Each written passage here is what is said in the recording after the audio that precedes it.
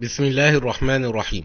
كتاب تذكرة بأحوال الموتى وأمور الآخرة للإمام القرطبي رحمه الله تبارك وتعالى. يقرأه عليكم مصطفى ابن حسن بن قناو الأزهري. قال رحمه الله تبارك وتعالى ونفعنا بعلمه وعلوم مشايخنا في الدارين. آمين.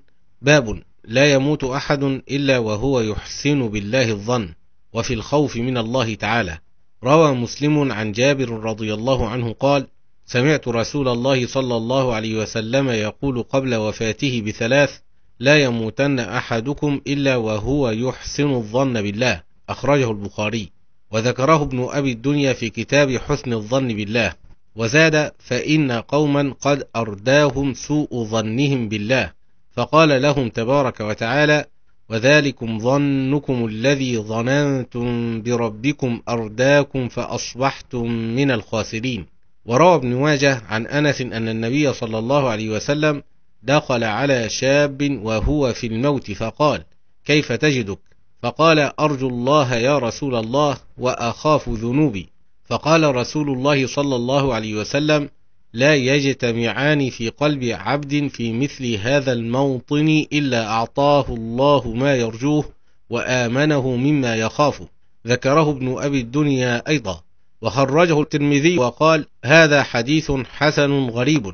وقد روى بعضهم هذا الحديث عن ثابت عن النبي صلى الله عليه وسلم مرسلا. وذكر الترمذي الحكيم في الأصل السادس والثمانين في نوادر الأصول.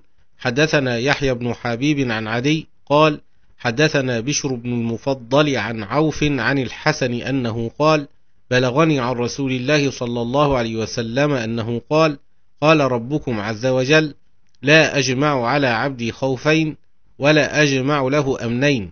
فمن خافني في الدنيا أمنته في الآخرة ومن أمنني في الدنيا أخفته في الآخرة. حدثنا أبو بكر بن سابق الأموي قال حدثنا أبو مالك الجنبي عن جويبر عن الضحاك عن ابن عباس رضي الله عنهما عن رسول الله صلى الله عليه وسلم فيما يذكر من مناجاة موسى عليه السلام أنه قال يا موسى إنه لن يلقاني عبد لي في حاضر القيامة إلا فتشته عما في يديه إلا ما كان من الورعين فإني أستحييهم وأؤجلهم فأكرمهم فأدخلهم الجنة بغير حساب. فمن استحيا من الله تعالى في الدنيا مما صنع استحيا الله من تفتيشه وسؤاله ولم يجمع عليه حياءين كما لا يجمع عليه خوفين. فصل. حسن الظن بالله عز وجل ينبغي أن يكون أغلب على العبد عند الموت منه في حال الصحة وهو أن الله تعالى يرحمه برحمته ويتجاوز عنه ويغفر له وينبغي لجلسائه أن يذكروه بذلك حتى يدخل في قوله تعالى أنا عند ظن عبدي بي فليظن بي ما شاء. وروى حماد بن سلمة عن ثابت عن أنس بن مالك رضي الله عنه قال قال رسول الله صلى الله عليه وسلم لا يموتن أحدكم حتى يحسن الظن بالله فإن حسن الظن بالله ثمن الجنة. وروي عن ابن عمر رضي الله عنهما أنه قال عمود الدين وغاية المجد وذروة سنامه حسن الظن بالله فمن مات منكم وهو يحسن الظن بالله دخل الجنة مدلا وقال عبد الله بن مسعود رضي الله عنه والله الذي لا إله غيره لا يحسن أحد الظن بالله إلا أعطاه الله ظنه وذلك أن الخير بيده. وذكر ابن المبارك قال أخبرنا سفيان أن ابن عباس رضي الله عنهما قال إذا رأيتم بالرجل الموت فبشروه ليلقى ربه وهو حسن الظن بالله وإذا كان حيا فخوفوه وقال الفضيل الخوف أفضل من الرجاء ما كان العبد صحيحا فإذا نزل به الموت فالرجاء أفضل من الخوف. وذكر ابن أبي الدنيا قال حدثنا يحيى أبو عبد الله البصري قال حدثنا سوار بن عبد الله قال حدثنا المعتمر قال قال أبي حين حضرته الوفاة يا معتمر حدثني بالرخص لعلي ألقى الله وأنا حسن الظن به. وقال حدثنا عمرو بن محمد الناقد قال حدثنا خلف بن خليفة عن حسين عن إبراهيم قال كانوا يستحبون أن يلقنوا العبد محاسن عمله عند الموت حتى يحسن ظنه بربه عز وجل. وقال ثابت البناني كان شاب به رهق فلما نزل به الموت انكبت عليه أمه وهي تقول يا بني قد كنت أحذرك مصرعك هذا. قال يا أماه إن لي ربا كثير المعروف. وإني لأرجو اليوم ألا يعدمني بعض معروفه. فقال ثابت رحمه الله بحسن ظنه بالله في حاله تلك. وقال عمر بن ذر يوما في كلامه وعنده ابن أبي داود وأبو حنيفة أتعذبنا وفي أجوافنا التوحيد لا أراك تفعل. اللهم اغفر لمن لم يزل على مثل حال السحرة في الساعات التي غفرت لهم. فإنهم قالوا آمنا برب العالمين. فقال أبو حنيفة رحمك الله القصص بعدك حرام. وكان يحيى بن زكريا إذا لقي عيسى بن مريم صلوات الله عليهما عبس وإذا لقيه عيسى تبسم فقال له عيسى تلقاني عابسا كأنك آيس. فقال له يحيى تلقاني ضاحكا كأنك آمن. فأوحى الله تبارك وتعالى إن أحبكما إلي أحسنكما ظنا بي ذكره البخاري. وقال زيد بن أسلم يؤتى بالرجل يوم القيامة فيقال انطلقوا به إلى النار. فيقول يا رب فأين صلاتي وصيامي؟ فيقول الله تعالى اليوم أقنطك من رحمتي كما كنت تقنط عبادي من رحمتي. وفي التنزيل ومن يقنط من رحمة ربه إلا الضالون. وسيأتي لهذا الباب مزيد بيان في باب سعة رحمة الله تعالى وعفوه يوم القيامة إن شاء الله تعالى. باب تلقين الميت لا إله إلا الله.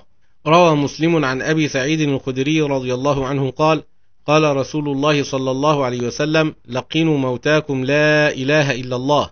وذكر ابن أبي الدنيا عن زيد بن أسلم قال قال عثمان بن عفان إذا حضر الميت فلقنوه لا إله إلا الله فإنه ما من عبد يختم له بها عند موته إلا كانت زاده إلى الجنة. وقال عمر بن الخطاب رضي الله عنه احضروا موتاكم وذكروهم فإنهم يرون ما لا ترون ولقنوهم لا إله إلا الله. وذكر أبو نعيم من حديث مكحول عن إسماعيل بن عياش عن أبي معاذ عتبة بن حميد عن مكحول عن واثلة بن الأسقع عن النبي صلى الله عليه وسلم احضروا موتاكم ولقنوهم لا إله إلا الله وبشروهم بالجنة فإن الحكيم من الرجال يتحير عند ذلك المصرع وإن الشيطان أقرب ما يكون من ابن آدم عند ذلك المصرع والذي نفسي بيده لمعاينة ملك الموت أشد من ألف ضربة بالسيف. والذي نفسي بيده لا تخرج نفس عبد من الدنيا حتى يتألم كل عرق منه على حياله. غريب من حديث مكحول لم نكتبه إلا من حديث إسماعيل. فصل. قال علماؤنا تلقين الموت هذه الكلمة سنة مأثورة عمل بها المسلمون وذلك ليكون آخر كلامه لا إله إلا الله فيختم له بالسعادة وليدخل في عموم قوله عليه الصلاة والسلام من كان آخر كلامه لا إله إلا الله دخل الجنة. خرجه أبو داود عن معاذ بن جبل وصححه أبو محمد عبد الحق. ولينبه المحتضر على ما يدفع به الشيطان فإنه يتعرض للمحتضر ليفسد عليه عقيدته على ما يأتي. فإذا تلقنها المحتضر وقالها مرة واحدة فلا يعاد عليه لئلا يضجر. وقد كره أهل العلم الإكثار من التلقين والإلحاح عليه إذا هو تلقنها أو فهم ذلك عنه. قال ابن المبارك لقنوا الميت لا إله إلا الله فإذا قالها فدعوه. قال أبو محمد عبد الحق وإنما ذلك لأنه يخاف عليه إذا ألح عليه بها أن يتبرم ويضجر ويثقلها الشيطان عليه فيكون سببا لسوء الخاتمة. وكذلك أمر ابن المبارك أن يفعل به. قال الحسن بن عيسى قال لي ابن المبارك لقني يعني الشهادة ولا تعد علي إلا أن أتكلم بكلام ثان. والمقصود أن يموت الرجل وليس في قلبه إلا الله عز وجل لأن المدار على القلب وعمل القلب هو الذي ينظر فيه وتكون النجاة به. وأما حركة اللسان دون أن تكون ترجمة عما في القلب فلا فائدة فيها ولا عبرة عندها. قلت وقد يكون التلقين بذكر الحديث عند الرجل العالم كما ذكر أبو نعيم أن أبا زرعة كان في السوق وعنده أبو حاتم ومحمد بن مسلم والمنذر بن شاذان وجماعة من العلماء فذكروا حديث التلقين فاستحيوا من أبي زرعة فقالوا يا أصحابنا تعالوا نتذاكر الحديث. فقال محمد بن سلمة حدثنا الضحاك بن مخلد أبو عاصم حدثنا عبد الحمي بن جعفر عن صالح بن أبي ولم يجاوزه.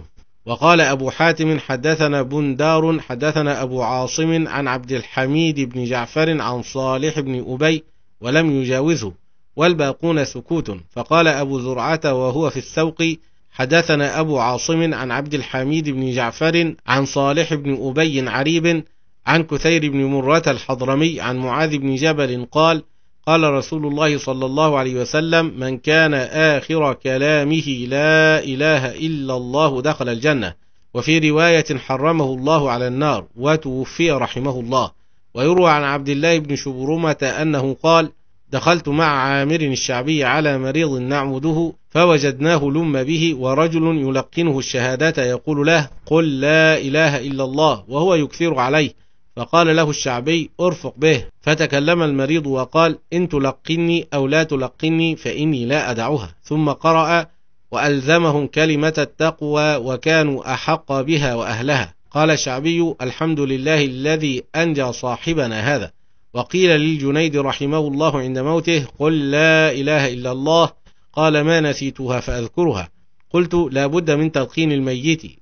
ويذكره الشهادة وإن كان على غاية من التيقظ.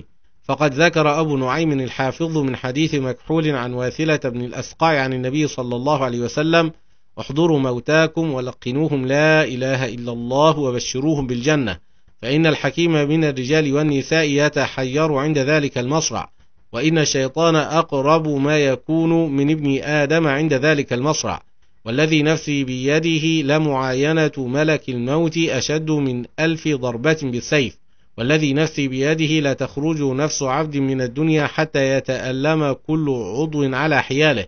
وروي عن أبي هريرة رضي الله عنه قال سمعت رسول الله صلى الله عليه وسلم يقول حضر ملك الموت عليه السلام رجلا. قال فنظر في قلبه فلم يجد فيه شيئا. ففك لحييه فوجد طرف لسانه لاصقا بحنكه يقول لا إله إلا الله فغفر له بكلمة الإخلاص. ذكره ابن أبي الدنيا بإسناده في كتاب المحتضرين وخرجه الطبراني بمعناه وسيأتي في آخر أبواب الجنات إن شاء الله تعالى. وصلى الله وسلم وبارك على سيدنا محمد وعلى آله وصحبه أجمعين. انتهى هذا المقطع من قراءة كتاب التذكرة بأحوال الموتى وأمور الآخرة. قرأه عليكم مصطفى بن حسن بن قناوي الأزاري جزاكم الله خيرا على حسن الاستماع وتقبل الله مني ومنكم صالح الأعمال.